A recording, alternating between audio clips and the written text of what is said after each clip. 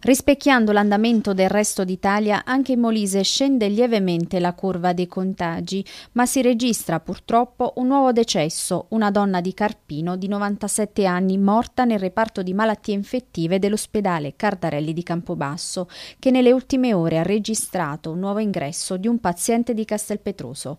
Attualmente i degenti sono 40, di cui 24 sono assistiti nel reparto ordinario, 13 nel reparto anziano fragile Covid e 3 sono le le persone intubate per insufficienza respiratoria nella terapia intensiva.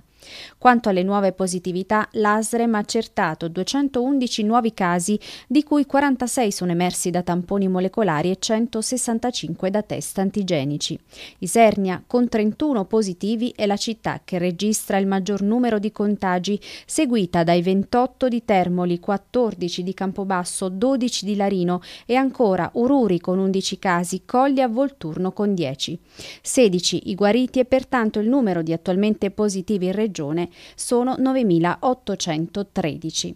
Intanto, da domani, martedì 1 febbraio, scattano le sanzioni per gli ultracinquantenni non in regola per effetto del decreto del 5 gennaio scorso che ha introdotto l'obbligo vaccinale per la popolazione degli ultracinquantenni.